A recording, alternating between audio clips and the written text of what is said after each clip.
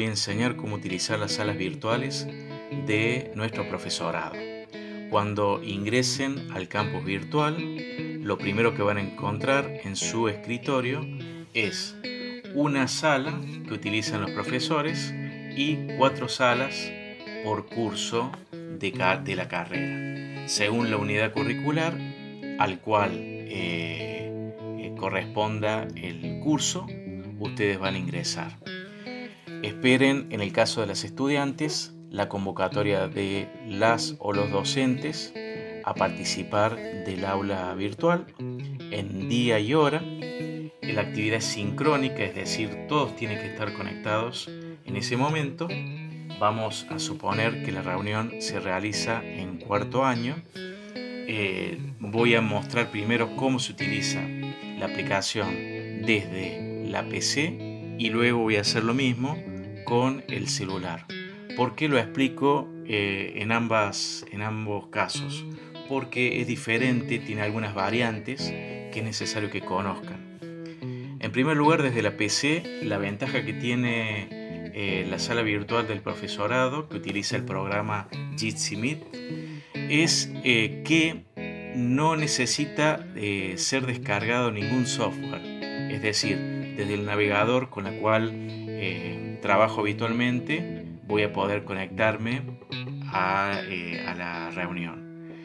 Por supuesto que eh, con algunos navegadores funcionan mejor que otros. Yo en este momento lo estoy usando Firefox sin problema, pero ustedes pueden utilizar Chrome, que es el navegador que recomiendan quienes desarrollan, quienes desarrollan este programa.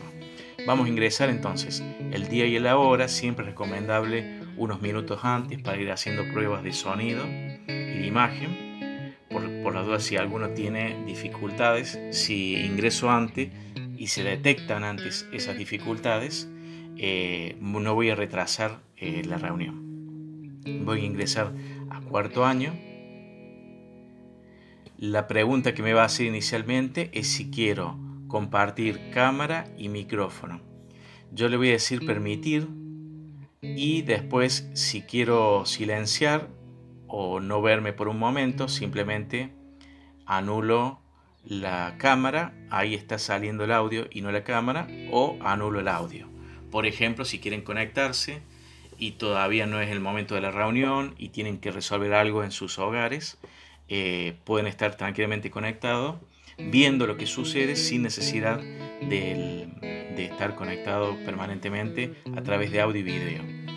Durante la reunión, cuando un docente expone, es eh, recomendable que el audio se, cancele porque eh, para que los sonidos ambientes no interfieran en la reunión. ¿no? Muchas de estas reuniones se realizan desde sus propios hogares y en los hogares puede estar prendido la televisión, puede ingresar algún, algún niño niña o cualquiera. Entonces, cualquier ruido que suceda para que no entorpezca la reunión, cancelo el, audio y solo lo habilito haciendo clic simplemente sobre el símbolo del micrófono. Lo mismo con la cámara. Yo ahora voy a habilitar la cámara. Em, otras funciones que es muy importante que conozcan sería la siguiente, la de pedir la palabra, que es la mano. ¿Mm? Fíjense que se ha activado aquí arriba. En algún lugar de la pantalla va a aparecer el símbolo de una mano con un fondo azul y un circulito. Eh, si no quiero bajar la mano, simplemente vuelvo a, a cliquear sobre el mismo símbolo. A la derecha tengo el chat. ¿Qué es el chat?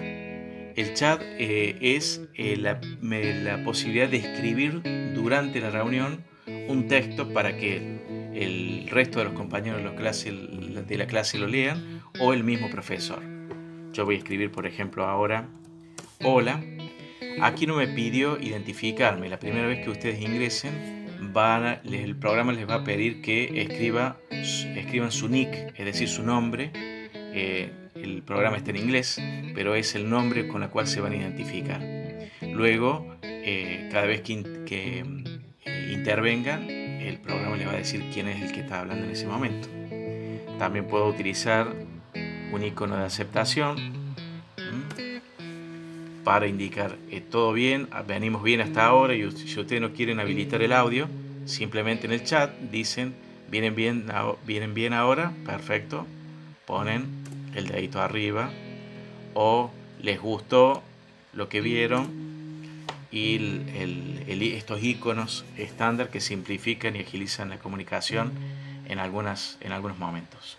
Otro, otra función que quiero que tengan en cuenta es esta que figura aquí.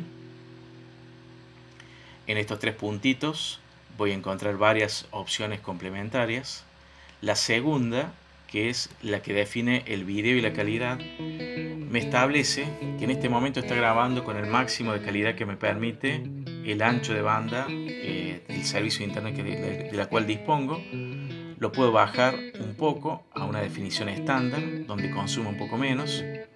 Puedo bajar más todavía y si bajo más directamente no me voy a ver.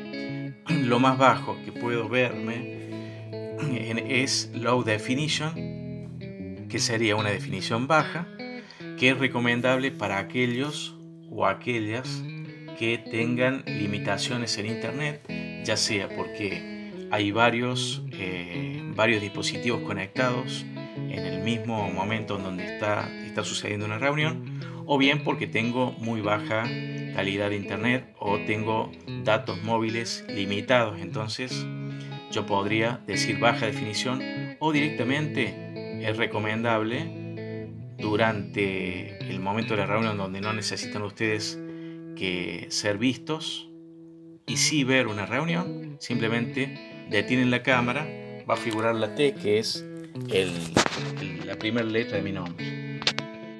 Jitsi en celulares eh, debe ser primero descargado de Play Store Luego, cuando ustedes ingresen por primera vez a una sala, por ejemplo, eh, voy a ingresar por, en tercer año y fíjense que me va a indicar en inglés, por eso hago esta aclaración, descargar la, app, la aplicación, que sería el botón azul, o continuar con la aplicación si ya la tienen en el celular. Elijan la opción 2 y va a ingresar a la sala, en este caso de tercer año. Si hubiera más gente conectada, por supuesto voy a ver las, aquellos que tienen conectados en este momento. Eh, puedo silenciar el audio, puedo eh, también eh, cancelar la cámara, puedo activar el chat, que es el símbolo que está a la izquierda, Vamos a ver en el celular eh, cuáles son, eh, cómo figuran las opciones. Los tres botoncitos eh, les va a figurar de un modo diferente. Les va a permitir habilitar o deshabilitar el, bando el ancho de banda bajo, significa es el modo ahorro. En este caso está habilitado el modo ahorro. Si yo cliqueo ahí, desactivo, deshabilito el modo de ancho de banda bajo especializados no encontré el dato exacto del consumo de Jitsi pero sí de otras herramientas similares para realizar videollamadas. En este caso, si sacamos el promedio entre ellas, nos eh, arroja eh, los siguientes datos. 160 megas insumirían 10 minutos de videollamadas eh, por diversas herramientas a modo de promedio. 480 eh, megabytes sería el consumo de un, de un módulo de 30 minutos, es decir, prácticamente medio giga y de, a partir de ello se puede inferir que un abono básico de 3 gigas en caso de que no se utilice para otra cosa que no sea para videollamadas, estaríamos eh, registrando 6 llamadas al mes.